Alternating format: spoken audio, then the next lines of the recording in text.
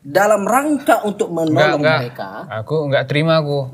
Soalnya udah banyak, udahlah gak usah Lagu bawa- lama, bawa- lagu lama. Lagu lama ini.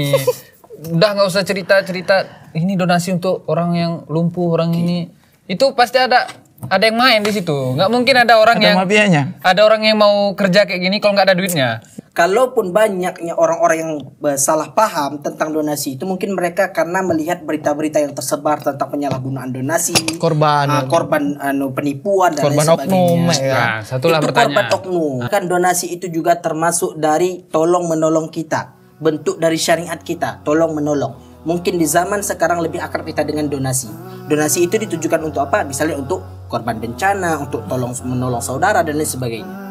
Hah, namun yang menyebabkan citra donasi itu buruk karena ada oknum yang menjalahgunakan uangnya ataupun dari penyelenggara donasi tersebut yang mentolimi uang hasil donasi itu.